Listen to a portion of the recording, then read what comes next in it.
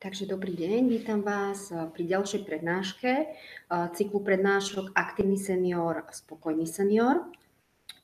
Tento raz sa budeme eh, venovať muzikoterapii. Muzikoterapia je úžasný nástroj na započúvanie sa do duške ľudského bytia, lebo veľakrát naozaj tá komunikácia nestačí, hlavne pri ťažších postihoch, pri rôznych diagnózach.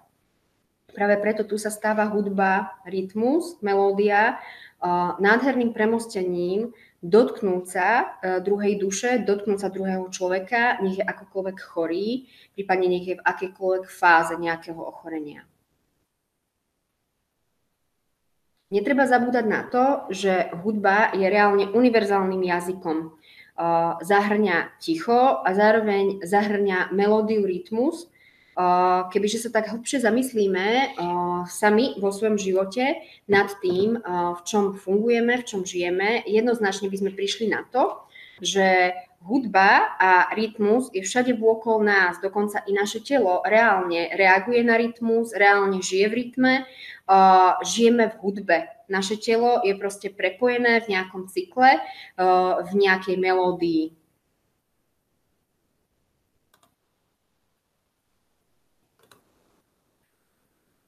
Zámerom tejto prednášky uh, bude to, aby sme si uvedomili, že hudba je duševnému životu v jednom bode úplne príbuzná.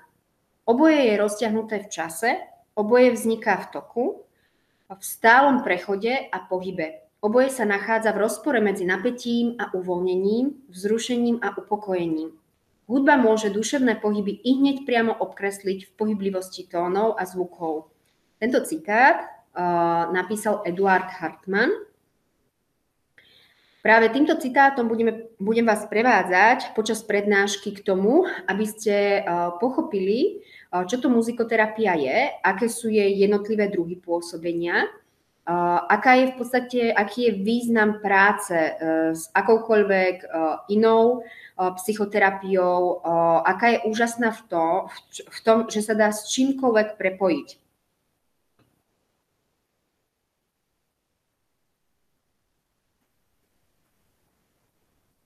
Precíťte jej dôležitosť použitia v živote ako takom, že sa ku nej môžete dostať kedykoľvek a seba preliečiť kdekoľvek. Muzikoterapia je cestou do duše človeka. Je zážitkovou terapiou, v ktorej klient komunikuje seba inými spôsobmi, ako je bežné.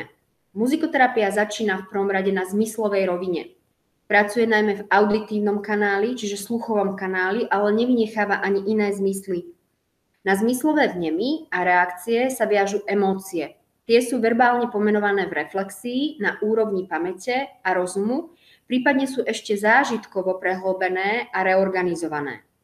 Cieľom muzikoterapie je rozšírením seba a vnímania okolia aktivovať komunikačné rezervy klienta a jeho zdroje k existencii, teda k zdraviu.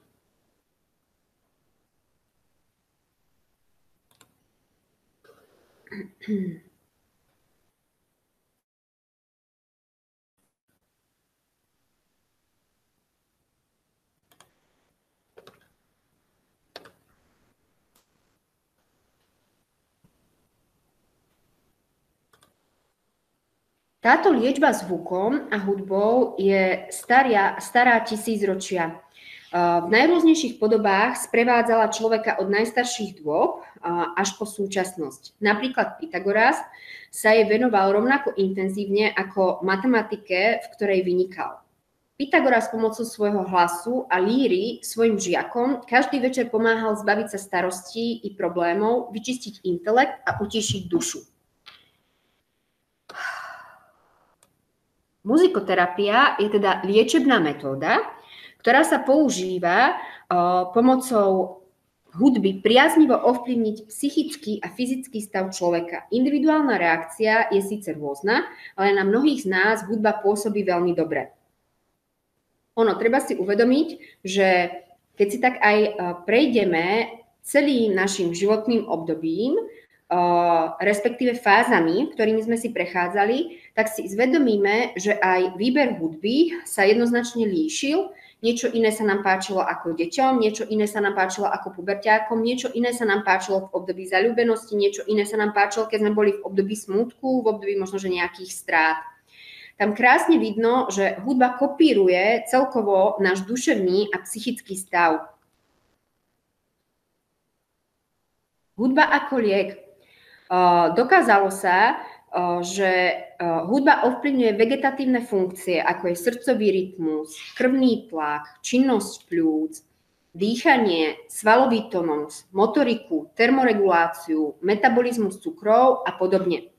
Používa sa takisto na zmiernenie bolesti, úzkosti, strachu pri poinfarktových stavoch, liečbe dlhotrvajúcich chorôb.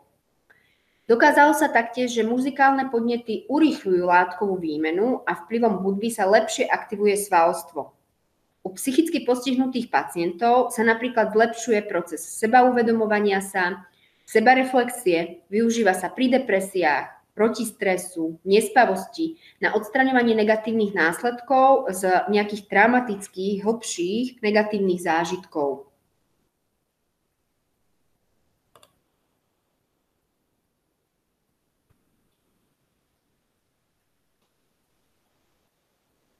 U psychicky postihnutých pacientov sa napríklad o, takisto m, mm, zlepšuje aj o, proces seba poznania. Zároveň je to vhodný doplnok liečby pri vážnych diagnózach, ako je napríklad Alzheimerová choroba, ale i závislostiach na toxických látkach. Muzikoterapia sa však môže používať aj pri zdravých ľuďoch, ktorí hľadajú ako keby kompenzáciu jednostranného života vo svojom povolaní. Má vynikajúce uplatnenie v nemocniciach, terapeutických zariadeniach, domovoch dôchodcov a tak ďalej. Pohybové aktivity pri hudbe podporujú a rozvíjajú rozsah pohybov, senzomotorickú koordináciu, svalovú silu, vytrvalosť, dýchanie, svalovú relaxáciu a kreatívne vyjadrovanie sa pohybom. Ono fakt je ten, ja s muzikoterapiou pracujem niekoľko rokov. V podstate je to terapia, ktorá ma sprevádza od vysokej školy. Moja záverečná diplomová práca bola formou kazuistík muzikoterapeutické dlhodobé pozorovanie autistického chlapca a autistických detí. Časom som si na tom spravila aj doktorát, kde som v podstate porovnávala skupinu autistických detí, viacnásobne postihnutých detí a ich vplyv na ne formou muzikoterapie. Muzikoterapia sa práve pri takýchto postihnutiach stala pre mňa neuveriteľným komunikačným kanálom, kde to dieťa môže komunikovať presne to, čo jeho vlastné telo mu bráni komunikovať, pretože väčšinou sa jedná naozaj o ťažké postihy, ležiakov detičky, prípadne s hyperkinézami alebo dyskinézami. Pracujem skôr aktívnou formou, to znamená, že využívam nástroje, samotné nástroje, hudobné nástroje, ktoré sú z celého sveta je na nich veľmi fascinujúce, že sú vyrobené väčšinou z prírodného materiálu a každý ten nástroj má svoju vibráciu. Čiže tak ako vibruje naše telo, vibruje aj nástroj. A na základe toho, aký nástroj, z čoho vyrobený si vyberáme, je krásne, možné, máme krásnu možnosť terapeuticky sledovať, kde sa to nachádza dieťa emočne, psychicky, čo vlastne v danom momente prežíva. A máme ho možnosť takisto upokojiť, ukľudniť, aby napríklad, keď sa nachádza v nejakom akutnom stave afektu, sa dokážalo, dokázalo uvoľniť. Táto terapia predlžuje a zlepšuje sústredenosť, koordináciu pohybov, hrubú i jemnú motoriku, harmonizuje zároveň obidve hemisféry a zlepšuje pamäť.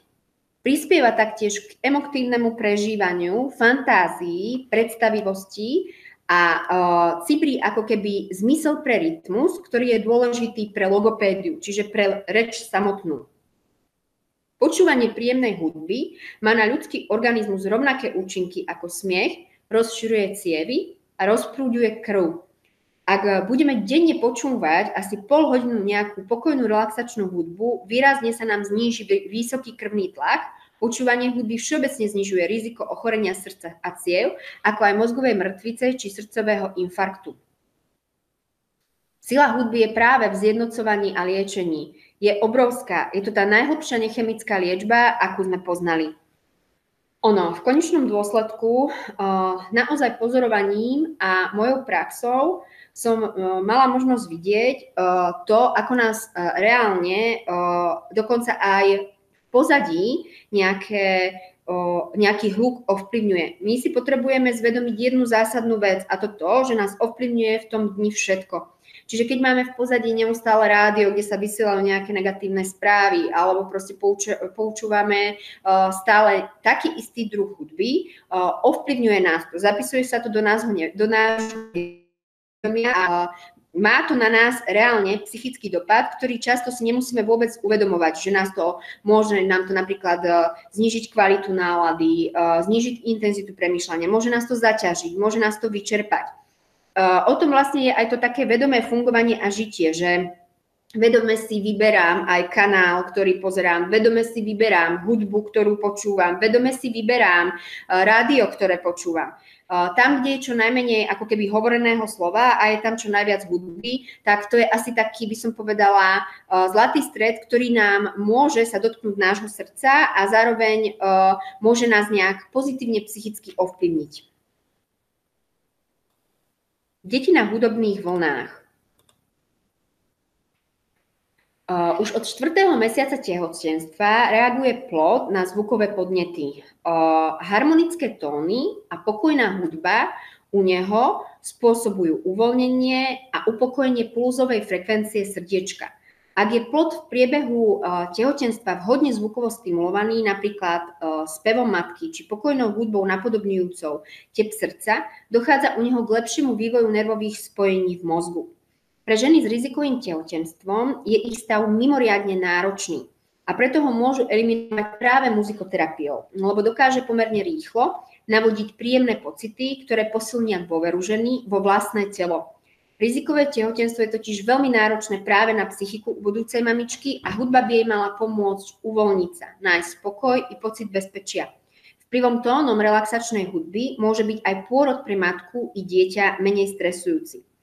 Ono, sama, keď som dlhodobo robila v Centre špeciálno-pedagogického poradenstva a mala som úžasnú riaditeľku, ktorá naozaj mala veľmi široký záber a bola to neskutočne múdra bytosť, tak keďže nám tam chodili rôzne postihy, pretože my sme boli Centrum špeciálno-pedagogického poradenstva pri špeciálnej materskej škôlke, tak naozaj niekedy čakanie na psychologické vyšetrenie, ktoré bolo zdlhavejšie, bolo pre hyperaktívne deti, ťažšie postihnuté deti nezvládateľné. A naša riaditeľka tam reálne dala uh, počúvať relaxačnú hudbu, čiže rozmiestnila uh, hudobné kanály po celej chodbe a tým fakt uh, pozitívne ovplyvňovala tie deti. Tie deti sa vedeli upokojiť, tie vedi, deti vedeli obsedieť, mali jednoducho tendenciu byť trpezlivejšie. Hudba nás sprevádza v konečnom dôsledku od narodenia, zvuk nás sprevádza od narodenia, od, na, od prenatálneho vývinu. Máme možnosť počuť nejaký rytmus, rytmus matkinho srdca. A v tomto rytme potom máme tendenciu aj žiť a ten rytmus si prispôsobovať, prispôsobovať si ho sebe. Čiže keď potrebujem zrýchliť, tak zrýchlim. Keď potrebujem spomaliť, tak spomalím.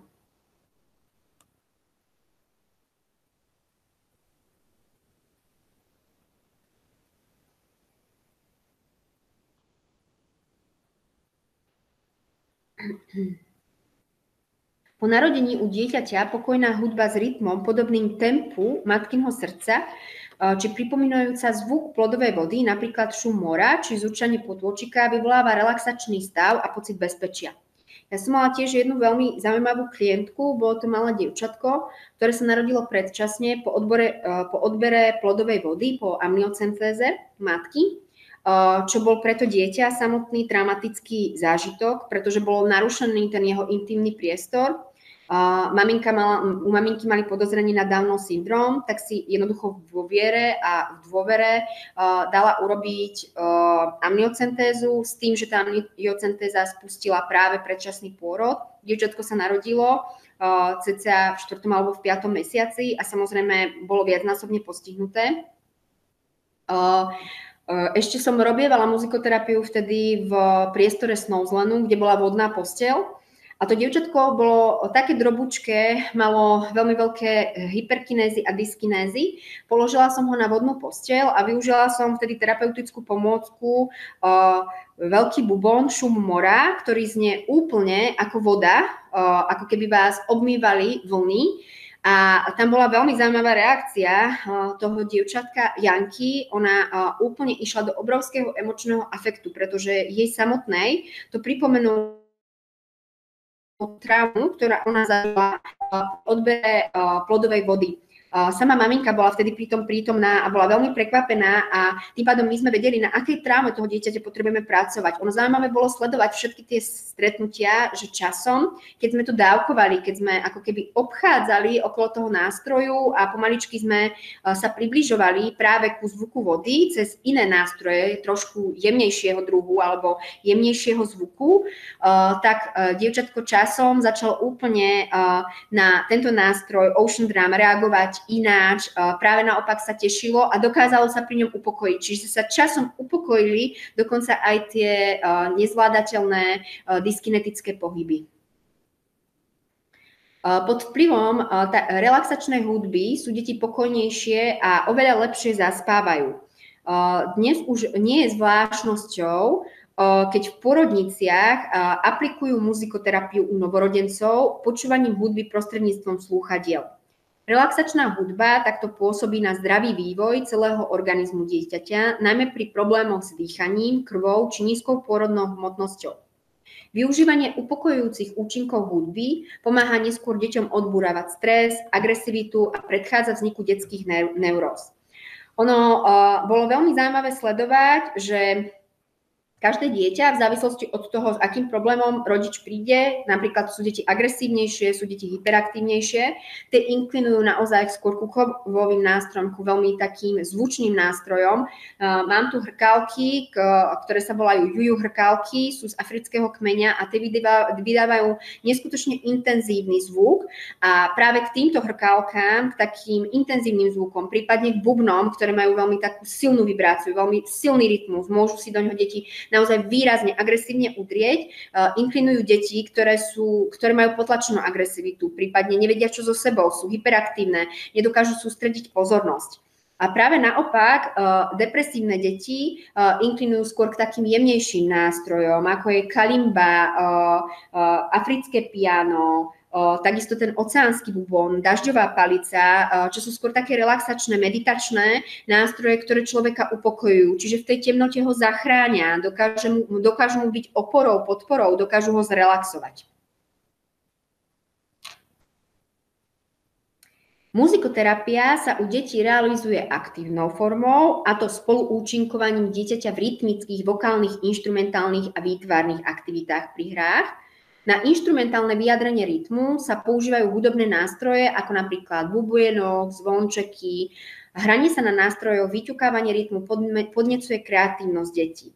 Ono naozaj uh, je fakt uh, umenie uh, terapeuta vedieť ako keby si tak v úvode odiagnostikovať dieťa a vyladiť tu ten terapeutický, muzikoterapeutický proces na potreby toho človeka Pracovala som s muzikoterapiou aj s dospelými na chronickom oddelení, ešte keď som pracovala na psychiatrii to bol tiež krásny zážitok, lebo tí skôr inklinovala nie ku aktívnej muzikoterapii, ale pasívnej muzikoterapie, to, znamenajú, to znamená od posluchu a milovali tramské pesničky, tak som im zabezpečila kazety, kde sme non-stop používali uh, hudbu tramskú a popri tom si kreslili, čiže bola to možnosť nakombino- nakombinovať muzikoterapiu spolu s arteterapiou.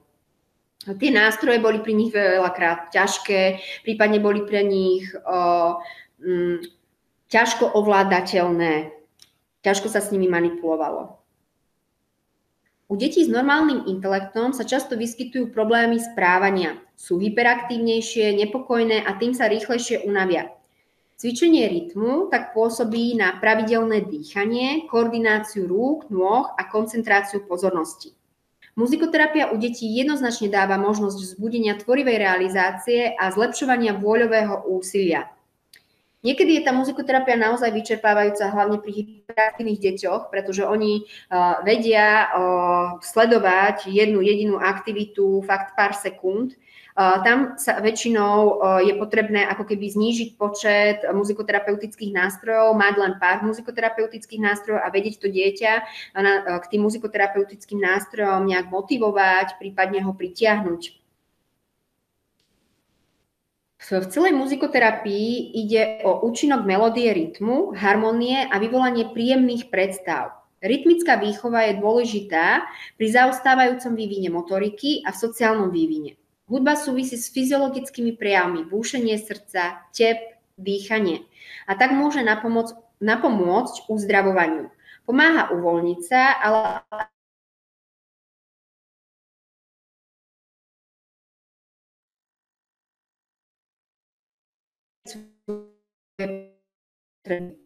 Užíva sa spev, hra na jedno pantomíma, stimulovaná hudba, muzikopa, muzikomaľba.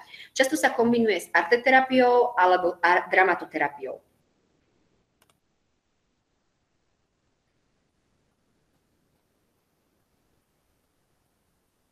Takto sa využíva hudobná relaxácia, čiže psychické a telesné uvoľnenie počas telesného pokoja. Najlepšie sa muzikoterapiou koriguje zajakavosť, poruchy pozornosti, emocionálne poruchy. Používa sa pri deťoch s mozgovou dysfunkciou, depresiami a u neurotických detí. Mentálne retardovaných detí a detí s poruchami sluchu a zraku. Je to zaujímavé, že sem patria aj práve deti s poruchami sluchu. Ono, tie nástroje sú naozaj čarovné v tom, eh, že tá vibrácia prenikne do hĺbky tela bez toho, aby ten človek musel počúvať tá vibrácia je jasná, je zvučná, je pravidelná. Sama som si zažila, keď sme pracovali s bubnami, pracovali sme v kruhu, aký to má dopad na fyzické telo a aké procesy to v tom fyzickom tele reálne dokáže spustiť. Ako hudba pôsobí na organizmus? Počúvanie hudby vyvoláva u človeka určité psychické i somatické procesy. Hudbu vnímame a precitujeme celým svojim vnútrom a jednotlivé tóny v nás vyvolávajú určité nálady, pocity, afekty, ako i zmeny správania a súčasne ovplyvňujú aj naše najdôležitejšie vegetatívne funkcie. Melódia pôsobí na asociatívnu pamäť tak, že tóny jej napomáhajú vybavovať si pamäťové záznamy engramy, v ktorých je podobný zvuk už raz zachytený. Čiže ako keby nás hudba v niektorých momentoch núti rozpamätať sa na pre nás veľmi podstatné skúsenosti, zážitky duše. K záznamu sa vzťahujú nejaké emócie. Hudba má okrem toho liečivé účinky aj na telesné, fyzické orgány, čo je tiež vedecky dokázané. Tóny v určitej melódii stimulujú vegetatívne prejavy organizmu.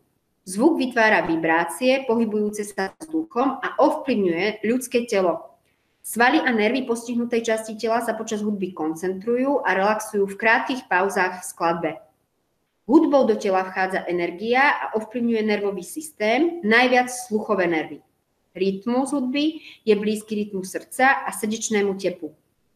Pri srdečných úderoch a pulzovej vlne dochádza k excitácii. Po prejdení pulzovej vlny za poklesu tlaku v cievach nastáva relaxácia a upokojenie. Pri počúvaní hudby postupuje zvuková informácia do mozgovej kôry cez obe dráhy, pričom v retikulárnej formácii sú vyvolané budivé reakcie, ktoré sa v somatickej sfére prejavujú zmenou svalového napätia a zvýšenou svalovou činnosťou. U osôb postihnutých mentálnou retardáciou zasa treba vychádzať z faktu, že sú postihnuté rozumové funkcie a porušená je aj celková schopnosť koncentrácie, pričom vo sfére citov prevládajú afekty nad emóciami. Napríklad, mentálna retardácia býva často spojená s niektorými telesnými anomáliami alebo so zníženou pohybovou obratnosťou. V tomto prípade muzikoterapiou možno rozvíjať ich sluchové schopnosti, využívať ich záujem o jednotlivé zvuky a tóny a prehlbovať tak ich citové prežívanie. Taktiež možno trénovať rozvoj motoriky a v niektorých prípadoch ich koncentrácie. Najviac spoločným faktorom je, že hudba je ideálnym prostriedkom pre uvoľnenie nahromadenej tenzie, Intenzívny hudobný zážitok je často spojený s katarziou, takže očistou, očistným momentom, ktorý má veľký terapeutický účinok. Využitie hudby ako komunikačného prostriedku zahrania nielen neverbálne formy typické hudobné, ale i nehudobné formy, medzi ktoré patrí okrem iného aj mimika a gestikulácia. Tieto formy možno považovať za prevažne emocionálne výrazové prejavy, ktoré mnohokrát bývajú diagnosticky cennejšie než verbálne výpovede. Muzikoterapia je liečenie pomocou hudby. Je to oblasť na pomedzi medicíny, psychológie, umenia a spirituality. Skrýva v sebe obrovský potenciál, ktorý v našej dobe nabitej informáciami a myšlienkovým i fyzickým hmírením takmer vôbec nevyužívame.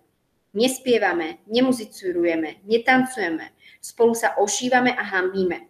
Ono, keď som bola na eh, jednom eh, školení, eh, tak tam bolo vysvetlené, skôr smerované k ženám, ale myslím si, že by to bolo v pohode využiteľné aj pri mužoch, že tri posvetné kanály, ktoré dokážu žene v akékoľvek situácii pomôcť spojiť sa samej so sebou, je kanál pohybu, tanca, kanál dýchu, zhlboka dýchať a kanál hlasu, čiže spievať. Ono často uh, sa stáva, že od detstva máme zafixované, lebo nám raz niekto povedal, že ty nevieš tancovať, ty nevieš spievať. Ale opak je pravdou. Spev je naozaj iba práca s dýchom. Ja sama som si to mala možnosť zažiť na sebe, pretože práve na, tom, na tomto ročnom cykle prednášok, kde som bola, sa často pracovalo s pohybom, často sa pracovalo s hlasom, s dýchom. A ja som sa práve tam tak rozpievala, že sama som bola prekvapená, uh, aký uh, tón a akú výšku tónu dokážem uh, ako keby dať. A popri tom nie som speváčka, nikdy som nespievala, práve naopak som si myslela, že neviem spievať. Čiže vôbec to není o tom, či talent máme alebo nemáme. Je to o cviku, o schopnosti vnímať svoje telo a o schopnosti pracovať s ním. Čiže pracovať s hlbokým dýchom a zároveň pracovať s našim hlasom.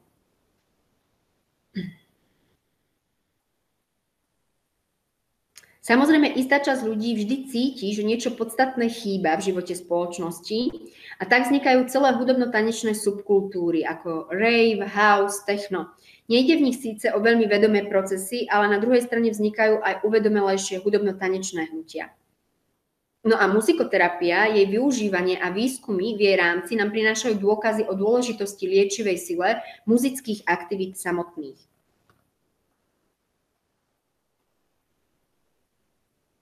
Aké sú cesty muzikoterapie? Takže uzdravujúce hudobno-tanečné praktiky sprevádzajú ľudstvo od jeho úsvitu. Hudba a jej magicko-mýtické pôsobenie boli vždy neoddeliteľnou súčasťou liečivých rituálov, počas ktorých sa chorý i liečiteľ či šaman ocitali v stave určitého tranzu, v extatickom stave, v ktorom mohli vzývať bohov na pomoc a odháňať škodiacich démonov. Neviem, či ste mali niekedy možnosť zažiť, že keď vám hrá hudba, ktorú máte veľmi nahlas, prípadne ju máte tak, aby ste ju precítili celým svojim telom, tak cítite vibráciu, až vám stoja chlúbky na tele. To je presne to, že tam sa stávame ako keby celiství, stávame sa prepojení, stávame sa prepojení s rytmom celého sveta, s rytmom samého seba. V, prí, v prírodných spoločenstvách sa to takto praktizuje dodnes. Najdôležitejšie je pritom jednoduchý jednotvárny rytmus, pri ktorom sa mení intenzita a tempo. Obyčajne je sprevádzaný aj spevom šamana.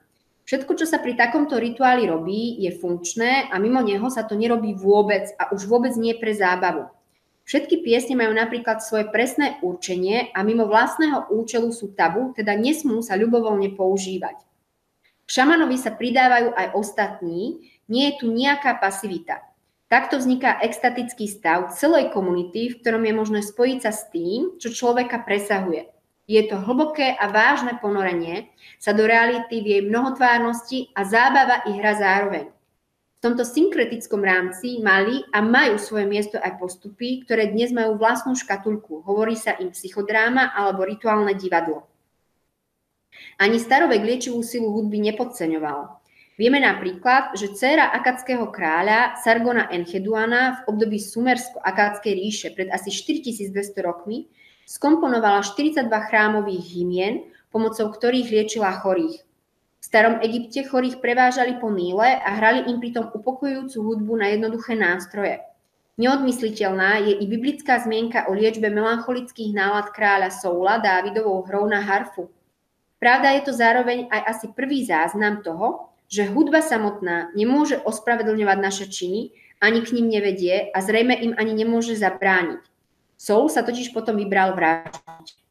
V antických časoch Pythagorasa, Platóna, Eskléposa, Galenosa či Seneku vnímali možnosti hudby a jej pôsobenie na človeka tak, aby mohol súznieť s veľkým celkom, s vesmírom. O Pythagorovi ako o historickej postave veľa nevieme. O to väčší bol však jeho vplyv do budúcnosti. Do budúcnosti sa jeho osobnosť naprojektovala ako akási mýtická postava, ktorá hovorila o sťahovaní duší, o očiste, o raji na mesiaci a slnku, o korešpondencii čísel a hudby. Hovoril o hudbe sfér, ktorú vytvára pohyb nebeských telies a ľudskú hudbu považoval za odraz tejto vesmírnej harmónie. Hudba je podľa neho schopná obnovovať takúto harmóniu aj v človeku. Liečebný, ale aj morálny, výchovný a preventívny efekt hudby oceňoval Platón a Homer vo svojich eposoch píše o utišovaní zúrivosti hrou na líru i o zastavení krvácania pôsobením hudby a spevu.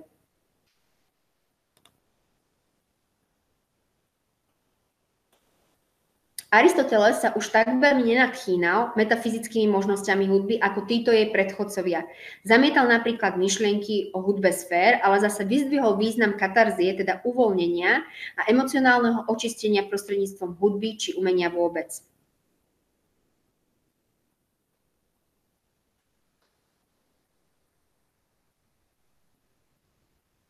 Výskum liečivého pôsobenia hudby sa dnes zaoberá faktormi, ktoré sú hudbe vlastné a pôsobia na rôzne úrovne ľudského prežívania. Telesnú, vegetatívnu, psychickú a duchovnú. Využitie muzikoterapie. Dnes môžeme využívať a využíva sa v rôznych oblastiach, a to v závislosti od pochopenia v lekárskom prostredí a od záujmu pacientov klinickej psychoterapeutickej praxi pre deti i dospelých, ale aj u hospitalizovaných ľudí na akejkoľvek klinike, v rehabilitácii pri psychicky duševne alebo telesne postihnutých deťoch, dospievajúcich i dospelých v ambulantnej psychiatrickej praxi, v prevencii, čiže pri práci s deťmi, mládežou a dospelými vo voľnej praxi. Muzikoterapia sa realizuje v skupinách alebo ako individuálna terapia. Hudba, či už hraná naživo alebo reprodukovaná, prenáša informáciu. Pojem informácia v tomto prípade znamená viac, ako je odovzdanie nejakých poznatkov alebo upovedomenie o niečom. Informácia je v tomto prípade tvorivý parameter nesúci potenciál vytvoriť v našom vnútri konkrétne podmienky. Prenos informácie v hudbe sa deje na viacerých úrovniach. Je tu dej hudby alebo textu, vnútorný a emocionálny stav skladateľa, vnútorný stav hudobníka a tak ďalej. To všetko sa tak povediac do tejto hudby spečaťuje. Takže tu nemožno hovoriť iba o povrchových úrovniach, ale aj o podvedomých hlbokých úrovniach. Všetko toto pôsobí je omylom mnohých hudobníkov, ktorí definujú svoju tvorbu ako opis napríklad negatív spoločenskej situácie a neuvažujú o následkoch negatívnej informačnej nálože. Neuvedomujú si, že to umocňujú. Hudba je široká, hudbou máme príležitosť vyjadriť aj negatívne emócie. Je však umením skladateľa dať im pozitívny smer a odkaz. Hudba je vesmír, v ktorom je dovolené všetko.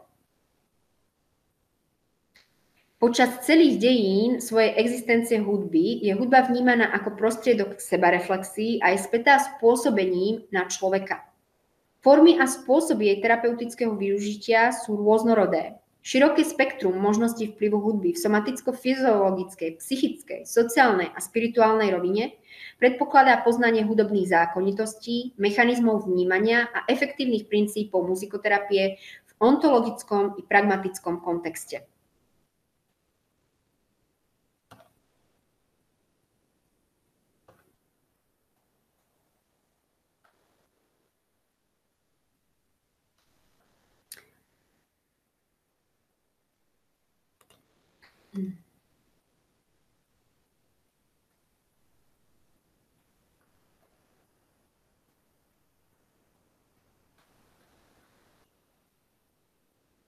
Liečba rytmom.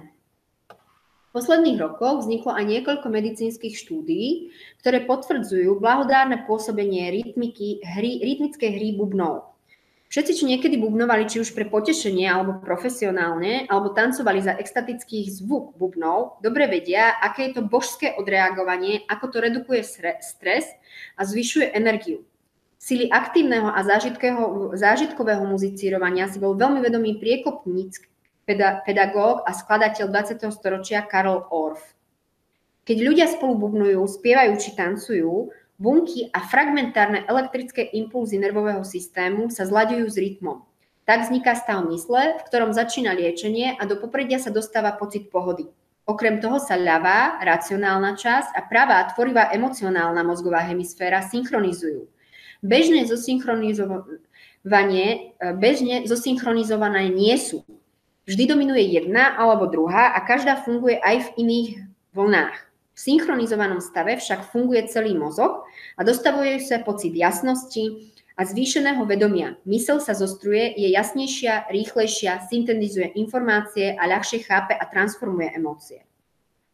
Hudba nie je obrazom zjavu, ale podáva srdce veci ich najvnútornejšie jadro. Muzikoterapia je systematický intervenčný proces, pri ktorom terapeut u klienta aktivizuje nenarušené a podporuje poškodené funkcie. Terapeutický proces sa v hudobnom priestore odohráva počas rôznych fáz podľa toho, aké sú potreby a možnosti postihnutých narušených či ohrozených klientov. Sa vraciam späť. Hmm. Máme tu impresiu, to je vnímanie zvukov hudby prostredníctvom zmyslov a emócií, expresiu, aktívne vyjadrovanie sa pomocou zvukov a hudby, interakcia, čiže zvuková hudobná komunikácia viacerých klientov, reflexia, verbálne pomenovanie zážitého a stvárneného zvuku hudby, Integrácia, vnútorne reorganizácia zážitkov klienta, čiže často nevedomá. Tieto jednotlivé fázy muzikoterapeutického procesu si od klienta vyžadujú jeho vnútornú alebo vonkajšiu aktivitu. Nemá žiadnu cenu o, uvidieť nové možnosti, keď neurobíme nič, aby sme ich uskutočnili. Tento krok je ťažký, lebo niečo hlboko v ľudskej prírodzenosti vzdoruje zmene. Nemusíme byť spokojní s tým, ako sa máme teraz, ale aspoň máme poznanie, ak niečo zmeníme, možno nám bude ešte horšie. Pri najmenšom sa môžeme zľaknúť ceny, ktorú musíme zaplatiť, aby sme nasledovali novú víziu. Čiže je to obeď. Muzikoterapia ako systém. Muzikoterapia začína v prvom rade na zmyslovej rovine, pracuje hlavne v auditívnom kanáli, sluchovom, ale nevynecháva ani iné zmysly. Základnou senzomotorickou skúsenosťou a vnímaním seba cez zvuky v interakcii koriguje zážitky o sebe. Na zmyslové vnemy a reakcie sa viažu emócie, projikované a prenášané zväčša z minulých zážitkov. Na zmyslové zvukové podnety klient citovo či afektívne reaguje, emocionálna rovina.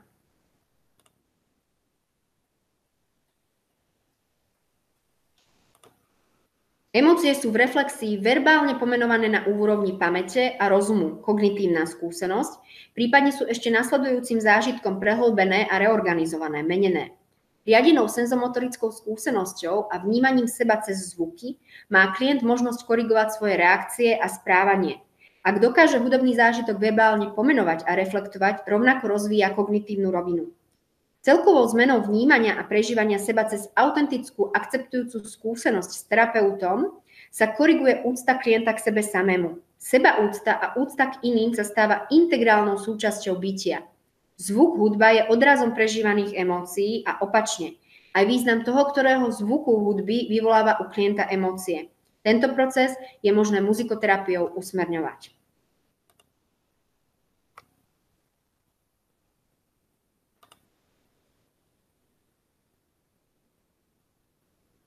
Podstatnou súčasťou muzikoterapia je improvizácia, čiže hlasová alebo nástrojová, ktorá umožňuje seba skúsenosť v interakcii.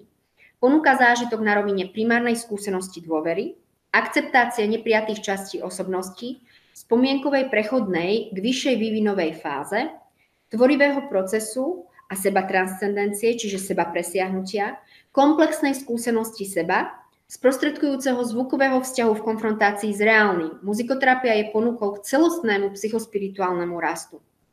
Hudba je ľudskej mysli daná do vienka od počatia. Hudba sa vyskytuje na každom kontinente, v každej kultúre. Považuje sa za koreň všetkých umení. Hudba sa prihovára celej ľudskej bytosti. Hudbu aj iné druhy umeleckých foriem ľudstvo odpradávna využívalo nielen na kultúrne obohacovanie, ale aj na laickú či odbornú pomoc.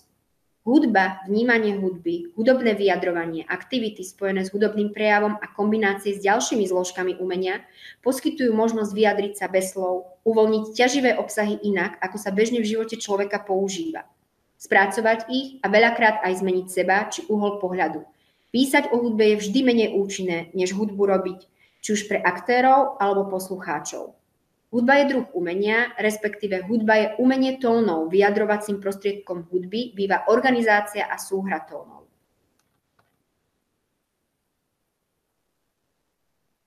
Ako muzikoterapia, tak psychoterapia môžu byť zdrojom inšpirácie, cestou seba poznania človeka, ale takisto zásadným terapeutickým prístupom pri rade najrôznejších problémov.